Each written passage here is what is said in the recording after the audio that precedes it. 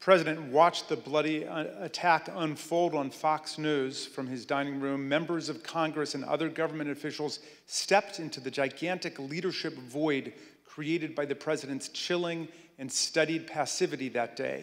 What you're about to see is previously unseen footage of congressional leaders, both Republicans and Democrats, as they were taken to a secure location during the riot.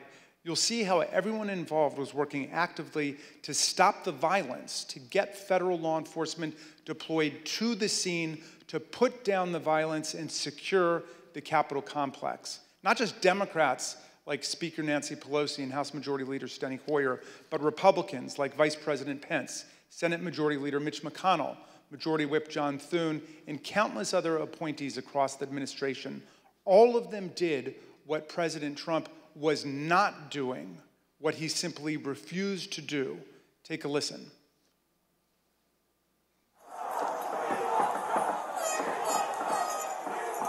We're, start, we're starting to get surrounded.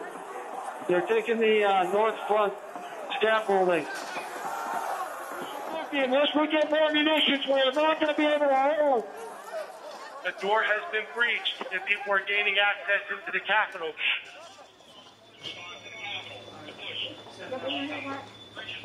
We have got to get finish the proceedings, or else it would have had a complete victory. USA! USA! Senator Schumer is at a secure location, and they're locked down in the Senate. There has to be some way we can maintain the sense that people have that there's uh, some security or some confidence uh, that government can function and that we can elect the President of the United States. Did we go back into session? We did go back into session, but now apparently everybody on the floor is putting on tear gas masks to prepare for a breach. Well, I'm trying to get more information. They're putting on their, Tear gas masks.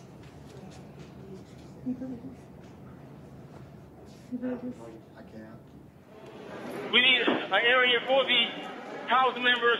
They're all walking over now through the tunnels.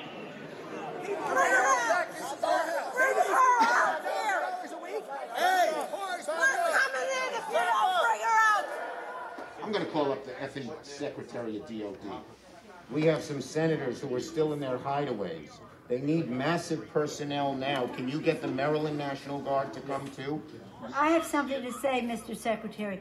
Well, I'm going to call the, the mayor of Washington, D.C.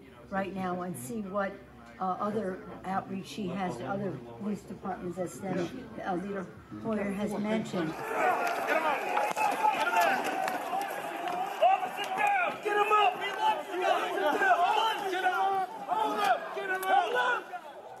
Hi, Governor. Uh, this is Nancy. Uh, Governor, I don't know if you have been approached about the uh, Virginia National Guard. Mr. Hoyer was connect, uh, speaking to Governor Hogan, uh, but I still think you probably need the okay of the, uh, the federal government in order to come into another jurisdiction. Thank you. Oh my gosh, they're just breaking windows, they're doing all, all kinds of, it's really, that somebody, they said somebody was shot. It's just, it's just horrendous and all at the instigation of the President of the United States. Okay, thank you, Governor. I appreciate what you're doing and if you don't mind, I'd like to stay in touch. Thank you. Okay. Thank you, bye-bye. Virginia Guard has been called in. You know, I'm just talking to Governor Northam, and what he said is they sent 200 of state police and a unit of the National Guard. They're breaking windows and going in, uh, uh, obviously ransacking our offices and all the rest of that. That's nothing. The, uh, the concern we have about uh, personal harm, Safety. personal safety is it just transcends everything. But the fact is, on any given day, they're breaking the law in many different ways. And, and quite frankly, much of it at the instigation of the President of the United States.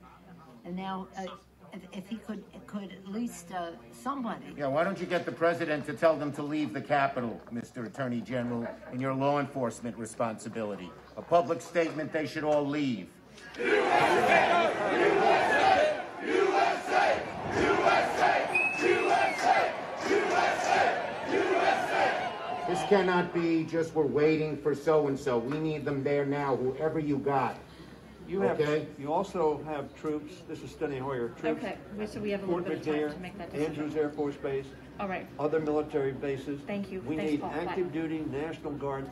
How soon in the future can you have the place evacuated, pulled, you know, cleaned out?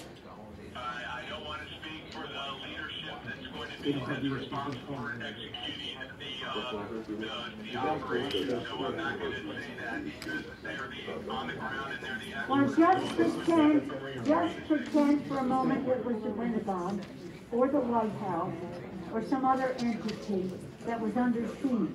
And let me say, you can logistically get people there as you make the plan.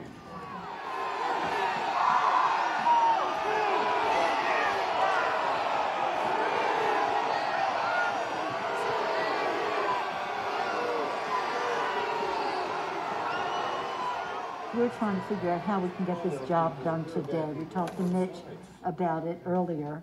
He- uh, He's not in the room right now, but he was with us earlier uh, and said, you know, we want to expedite this and hopefully they could confine it to just one complaint, Arizona, and then we could vote and, and that would be, you know, then just move forward with the rest of the state. The overriding wish is to do it at the Capitol. What we are being told very directly is it's going to take days for the Capitol to be okay again. We've gotten a very bad report about the condition of, of the um, House floor with defecation and all that kind of thing as well. I don't think that that's hard to clean up, but I do think it is uh, more from a security standpoint of making sure that everybody is out of the building and how long will that take? I just got off with the Vice President. And I got off with the vice president-elect, so I'll tell him. Okay, but wh- what we left the conversation with, because he said, he had the impression from Mitch, that Mitch wants to get everybody back to do it there. Yes. I said, well, we're getting a counterpoint that is, it could take time uh, to clean up the poo-poo that they're making all over the, literally and figuratively in the Capitol, and that uh, it may take days to get back. And um, I'm at the Capitol building. I'm literally standing with uh, the chief of police of, uh, of the U.S. Capitol Police. He just informed me what you will hear through official channels. Paul Irving, your sergeant at arms, will inform you that their best information is that they believe that uh, the House and the Senate will be able uh, to reconvene in roughly an hour. Good news. So sergeant arms be in touch about, about the process for, uh, for, for getting members back into the. Thank you very much, Mr. Vice President. Good news.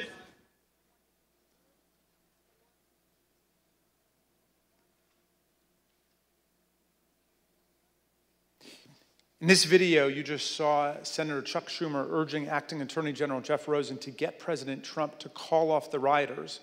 Of course, Acting AG Rosen did take action to defend the government, as did many other officials, but congressional leadership recognized on a bipartisan basis that President Trump was the only person who could get the mob to end its violent siege of the Congress, leave the Capitol, and go home. Here's Senator.